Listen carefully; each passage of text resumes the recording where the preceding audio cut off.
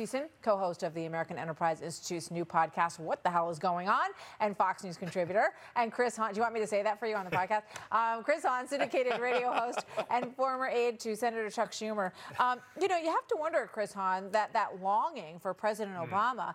Um, on, on, the one hand, you know, she wants him to be a voice of stability and civility, but on the other hand, does it does it signal that there's something deeply missing in the in the Democrat field? Well, I think it's a little bit of both, Martha. I think if I was running for president right now, I'd be channeling Obama's optimism of America and contrasting it with the president's pessimism and viewing uh, America somehow as a, uh, a, pastoral scene from the gallant South, which most Americans feared. So I think it's time for whoever is running for president right now to start looking at Obama's tapes, finding that voice. And if you don't have that voice, maybe it's time to get off the stage. There's too many of you anyway.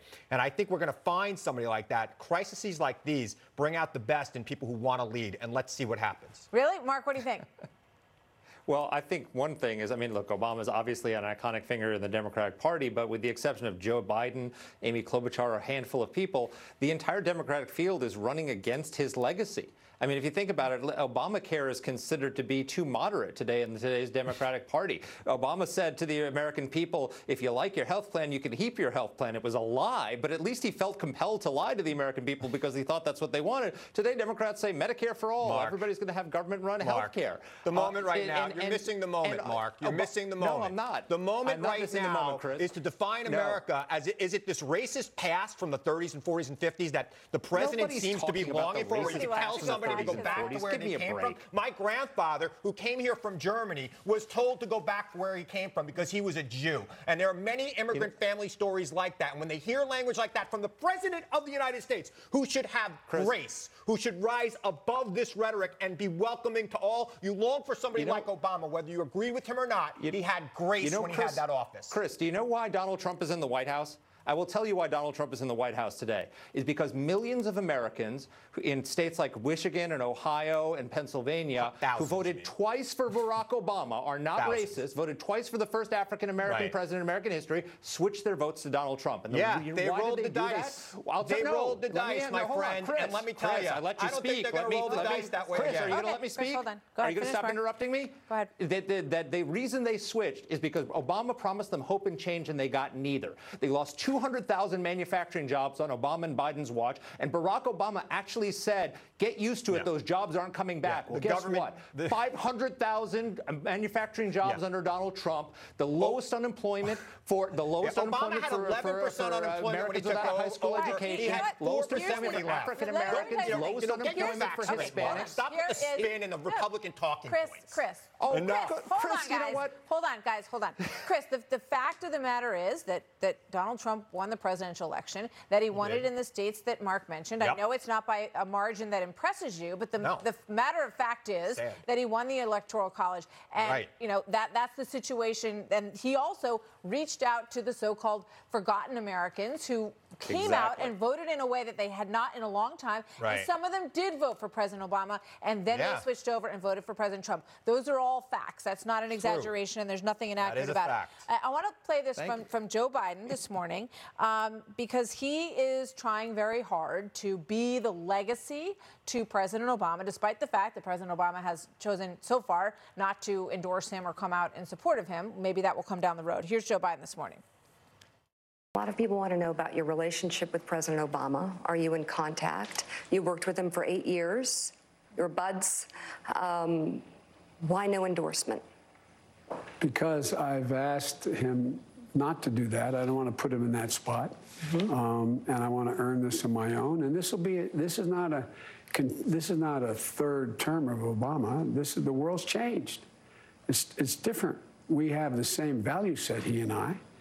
You know, and I don't think we give him enough credit. He's a guy that our kids could look up to, and they did look up to. All right, so here's my question for you, Chris. When you talked a moment ago about somebody taking that mantle, yep. someone speaking that way, someone being eloquent, talking yep. about hope and change, is Joe Biden the person that jumps into your mind when you imagine that legacy? No. He's not. And I'll be honest with you. You know, I don't know if he's Bruce Willis in the sixth sense right now. I don't know.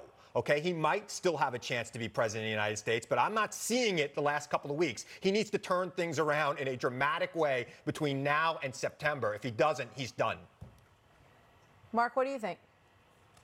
Well, I think that Joe. I think you're you're, you're right, Chris. Uh, that uh, that Joe Biden is not being picking up the Obama mantle, but he's the only one carrying the Obama policy mantle. The the Democratic Party has gone so far left. I mean, remember when when Barack Obama said during his State of the Union address that it is absolutely false that illegal immigrants will get health care under my plan, and Joe and Joe Wilson stood up and said, "You lie," and that and he apologized for that. He shouldn't have done that. But guess what? He's been vindicated because almost Every every, Democrat is stood up, okay. Uh, raised every- their no, hand, Chris, and said, "Free Every health care for that they illegal will immigrants, and give oh, by the way, to illegal aliens." They decriminalize want to give border it, crossings." well, because illegal aliens have health care right now when they go to the emergency room. We got to find a realistic way to pay for it and stop with this So nonsense that we're not borders paying and for. We're socialism Americans. and we don't impeachment is deny your care to people who are sick You're and dying in our run on hospitals. open so they're going to go there. We're going to pay triple for it when we socialism. could just put them on a plan. No, I mean, th- it, that's clear. Oh, I mean, right. that is the Democratic platform Well, wait, right now, but- is that I- I'll all ask- illegal I'll immigrants should be covered. Marc, should hospitals deny care to people who are here undocumented? Nobody's saying that hospitals should deny Right. care. So we're giving What- them no, no, care. hold on. You- Let- no, you you asked me a that they have question. Let me answer it. Chris, Yeah, stop filibustering. You don't want to face okay? reality and pay for it Chris, in a normal way. Chris, You'd rather spend you know triple when we could pay. Chris is going to blow a gasket. Marc, one last Sorry. thought. Go ahead. It's okay.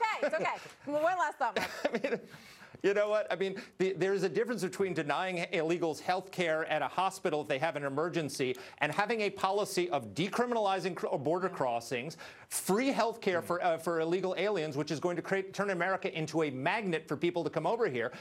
Free stuff, socialism, and open borders is a path to national suicide, and yeah, that's always the free stuff, no Party's Marc. We barriers gotta figure coming. out if who's you know getting that the once stuff. you get here, everything is going to be free and you're going to be taken care of, it, there's absolutely the no land of the reason free, in Martha. California not Free to. childcare, Absolutely, free but you have to come in legally. Chris. You have to come here legally, Yeah, just we- as generations of ancestors Yep. did. That's the way the process works. And the fact that there is no process is on Congress. There's a way is for, there, and you're right, and there's a way And for them to Democrats rectify it right right now. The- there was a 2013 uh, Border Security, Economic Opportunity, and Immigration uh, Modernization Act that passed the Senate with Lindsey Graham supporting it. If they introduced it in the House today, it would pass, Yep. and it would have to pass the Senate again, and the president would get it done, and he'd be a hero for it, and maybe put this racist incident behind him. All right, uh, we're going to leave it there. I, I, he's not going to blow a gasket because he's a No, runner. I love you, I you know. know he's in good shape. I love He's you too. Marc. Thank you, guys. Good to see you both Chris. tonight. All right, coming up next, Democrats attempt to.